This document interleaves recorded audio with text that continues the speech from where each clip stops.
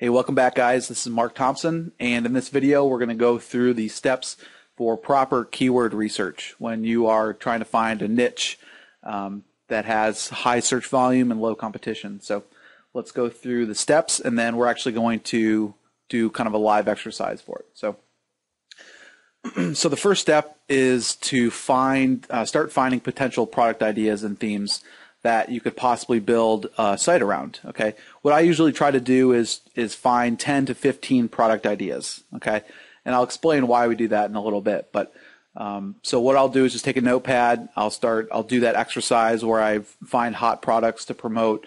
Um, a few other things that I do, and then I'll start writing down just possible ideas. Okay, we want to make sure that they fit inside the guidelines of a thousand exact searches per month. Um, it's more than $150, and and it has at least 75 reviews. Okay. Step two is to start looking at the competition by doing a Google, Google search and see how saturated the market is. Okay. At this point, this is nothing too in depth yet. Okay. We're going to go through more in depth keyword analysis, but for now, we're just trying to get a feel for the different keywords and, you know, just more, um, just glancing at the first page of Google to see how saturated it is from more of like a bird's eye view. Okay. Step three is after we've done that, we want to start to narrow down our list to the top three to five products that we'd want to focus on. Okay. We're going to start to expand our keyword list and research other long tail keywords that we have an opportunity to rank for. Okay. We may also want to put those keywords into Google Trends and make sure that there is market demand um, that it's either steady or it's increasing. Okay, we um, especially when you're researching products that you don't have a lot of, um, you don't know a lot about. You're not sure if if it's a, a product on the decline or if it's you know um, been discontinued or whatnot. So putting in putting it into Google Trends will help to tell you if there's still um, you know steady market demand. so once we've narrowed down you know our winner, um, you know, based on those three to five uh, different product ideas, I'm going to start to search for exact match domains. I'll look first for a .com, then I'll look for a .net, and then I'll look for a .org. Okay, and so what I usually try to do is I'll do the product keyword .com. If I can't find that, I'll do .net or .org, and then if I can't find that, I'll look. I'll start to do like product product keyword and then review or reviews.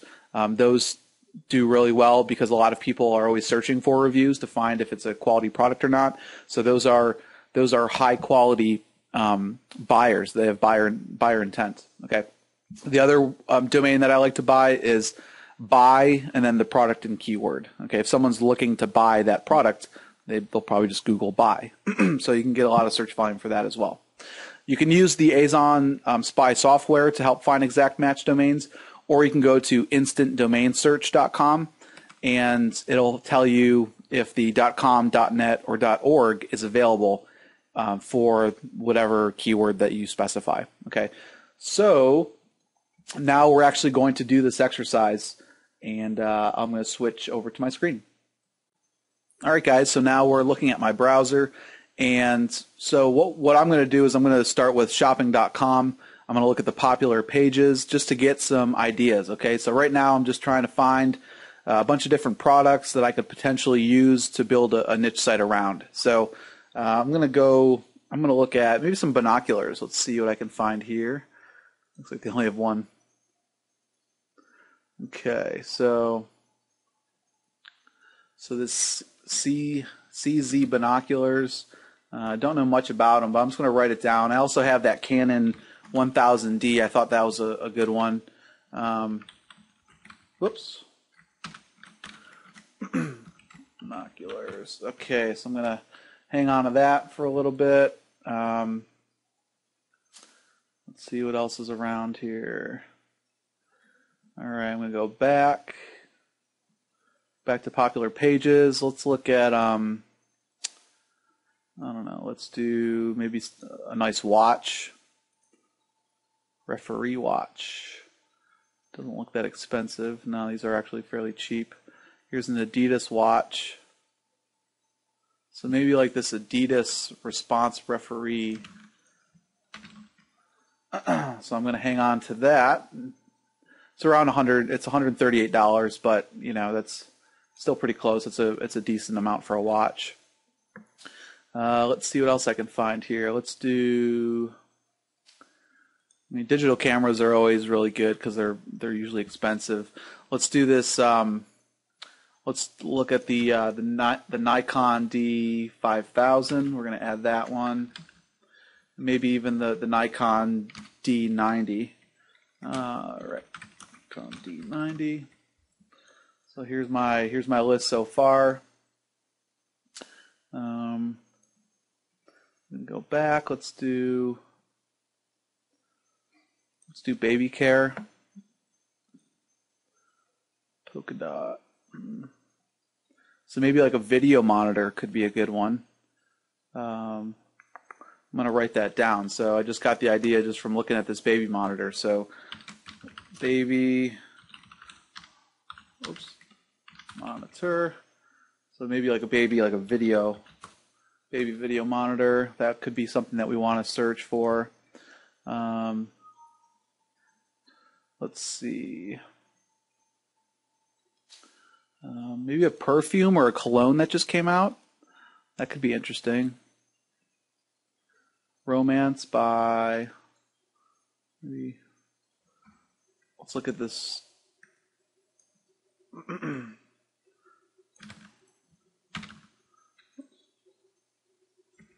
Okay, ro- uh, Romance by Ralph Lauren. Maybe that. I don't know if that's a new one. We could. We'll check it out later. I think that's been around for a while, but just another idea. Uh, I'm going to go to Amazon. I'm just going to take a look at some different categories here. Uh, maybe let's do let's do home. Let's do kitchen and dining. Some let's look at some appliances. Those are always pretty expensive. Maybe um, maybe a mixer. So here's a KitchenAid. Maybe this KitchenAid here might be a good one. All right. So you can already see it's $233. There's almost 2,000 customer reviews. I mean, this is a big product. Okay, so there, this might have a lot of competition, but you know, again, is just uh, looking at some new ideas. Um, Maybe a sunbeam. No, it's pretty cheap.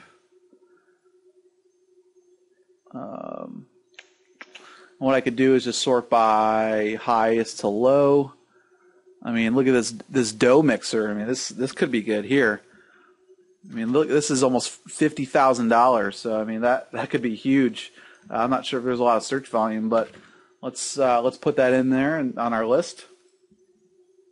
Oops, let me go back here.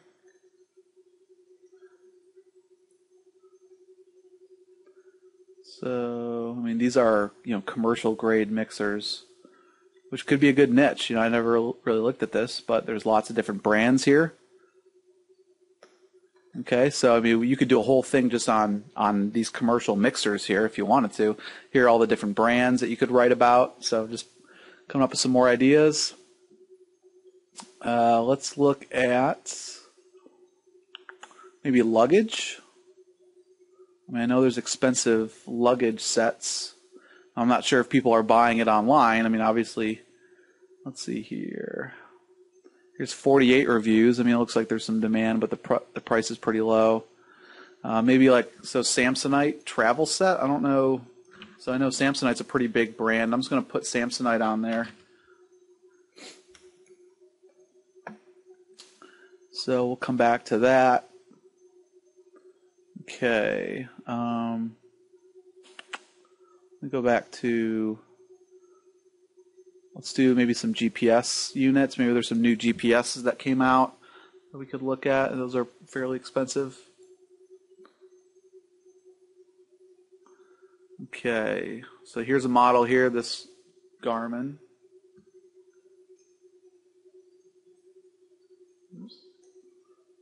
Okay, let's try maybe this one here.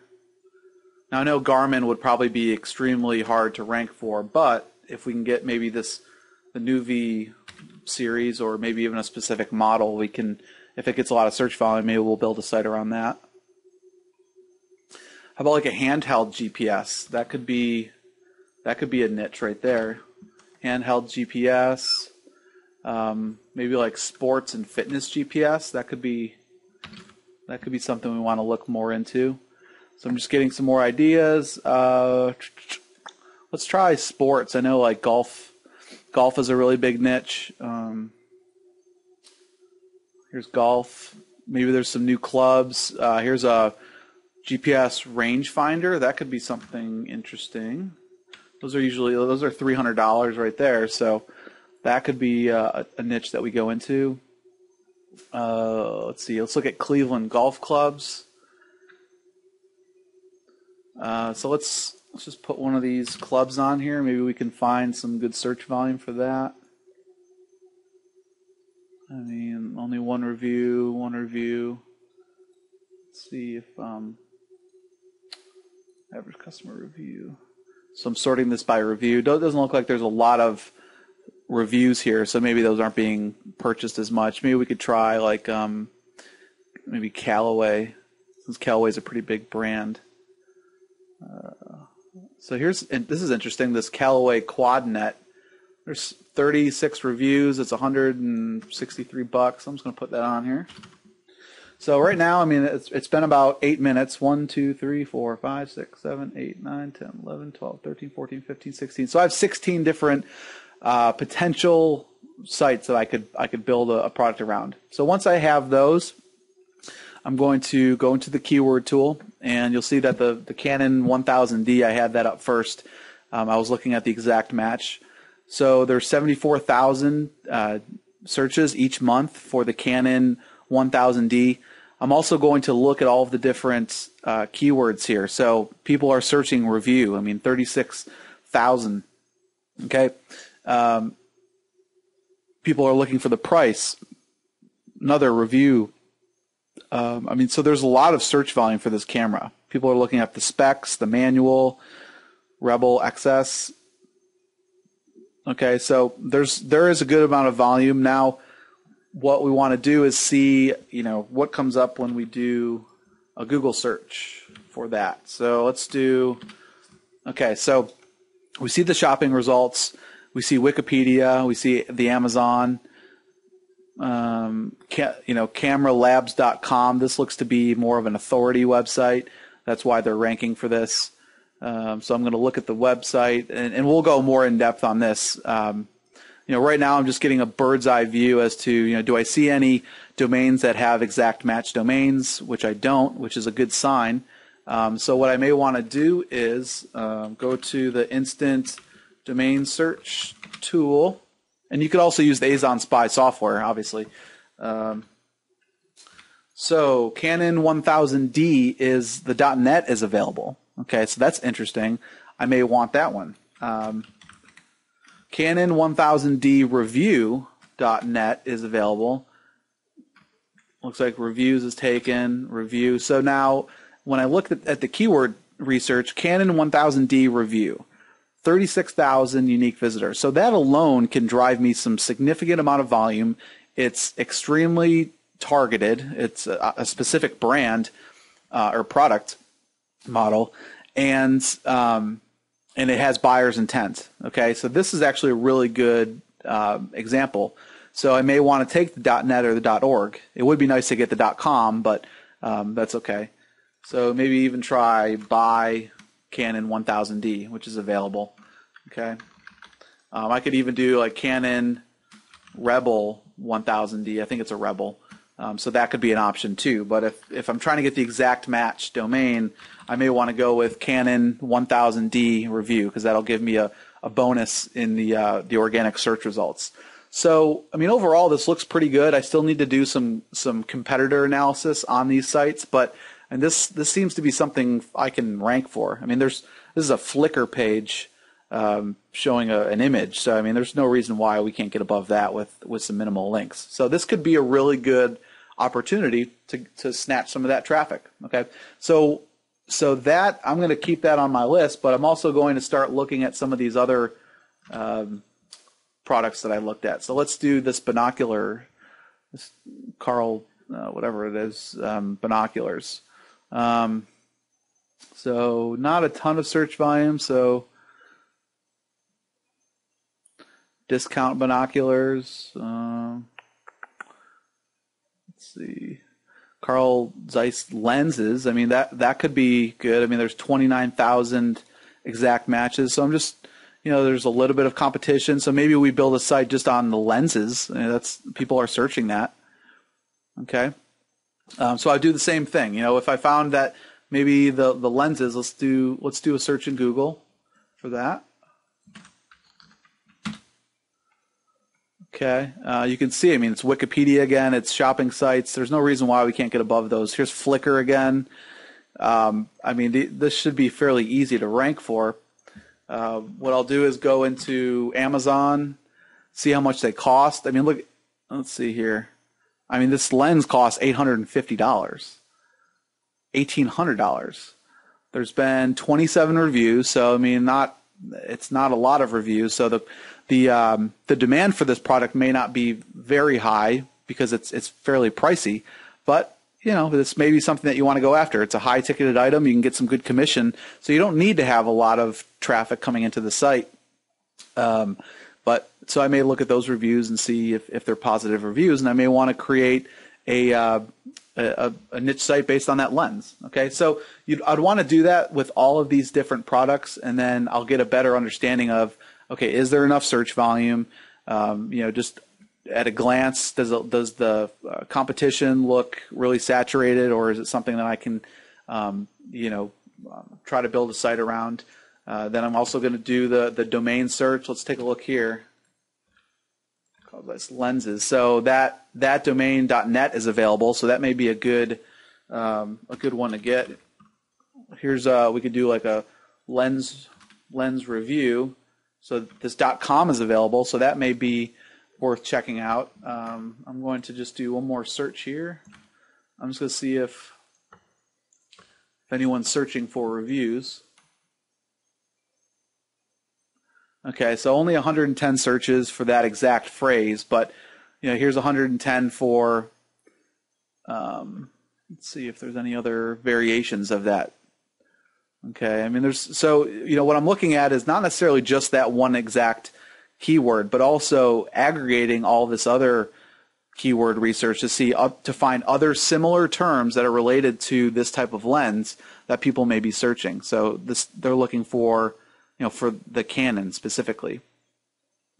Same here. So all of this aggregated data can um, generate a lot of traffic. Now it's just a matter of if you can rank for all these different keywords, but there's lots of different options here with this lens.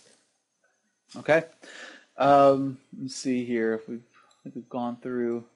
We've gone through all the different steps. So you know, one. So after I've looked at all the list, I'm going to narrow it down to th- three to five. I'm going to um, do the the exact match domain search. I'm going to see which one's available, and then from there, uh, we're going to do some keyword, or I'm sorry, some uh, competitor analysis, and I'm going to show you how we can tell if we really want to go into the niche or not. Okay? See you guys in the next video.